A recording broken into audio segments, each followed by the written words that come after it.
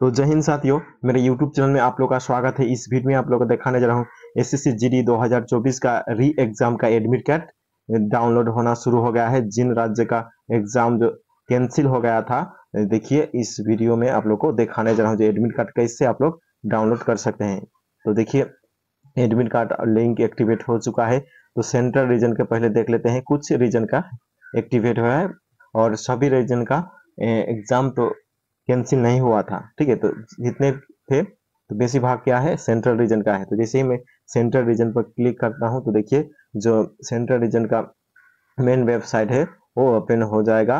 जैसे ही आप लोग यहाँ पर देखिए, ऊपर की तरफ़ यहाँ पर जो नोटिस दिया गया है तो 30 तारीख का आप लोग का एग्ज़ाम होने वाला है। यहाँ पर आप लोग जैसे ही क्लिक करेंगे, जैसे ही आप लोग क्लिक करेंगे जो यहाँ पर जो लिखा है डियर के कैंडिडेट तो सिर्फ़ यहाँ पर उत्तर प्रदेश और बिहार के जो कैंडिडेट थे, सिर्फ़ वो लोग यहाँ पर एडमिट कार्ड डाउनलोड कर सकते हैं।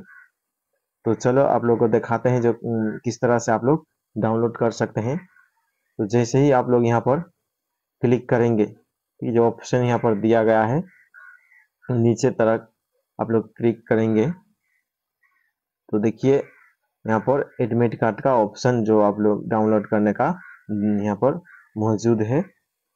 देखिए यहाँ पर लिखा है status and admit card download देखिए 30 मार्च का एग्ज़ाम होने वाला है। जैसे ही आप लोग यहाँ पर क्लिक करेंगे तो देखिए रजिस्ट्रेशन आप लोग किए हैं वो आईडी देकर यहाँ पर भर सकते हैं और डेट ऑफ़ बर्थ देकर आप लोग यहाँ पर एडमिट कार्ड डाउनलोड कर सकते हैं। ठीक है तो क्या है सेंट्रल रीजन के जितने भी जो सेंट्रल रीजन का सी आर रीजन का जो एग्ज़ाम कैंसिल हुआ है, उन लोगों का सिर्फ़ यहाँ पर एडमिट कार्ड डाउनलोड होगा, ठीक है? तो और रीजन के देख लेते हैं जो एडमिट कार्ड लिंक एक्टिवेट हुआ है नहीं। तो देखते हैं नॉर्थ ईस्टर्न रीजन का, जो कुछ बच्चे का एग्ज़ाम कैंसिल हुआ है तो देखते हैं एक्टिवेट हुआ है नहीं एडमिट कार्ड का लिंक तो देखिए, जैसे ही आप लोग वहाँ पर क्लिक करेंगे, जो नॉर्थ ईस्टर्न रीजन का मेन वेबसाइट ओपन हो जाएगा।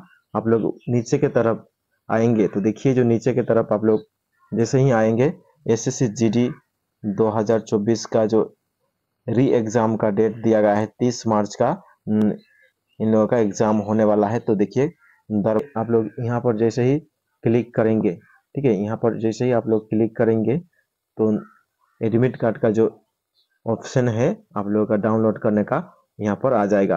ठीक है? यहाँ पर रजिस्ट्रेशन नंबर दे देना और यहाँ पर आप लोग डेट ऑफ़ बर्थ देकर एडमिट कार्ड डाउनलोड कर सकते हैं।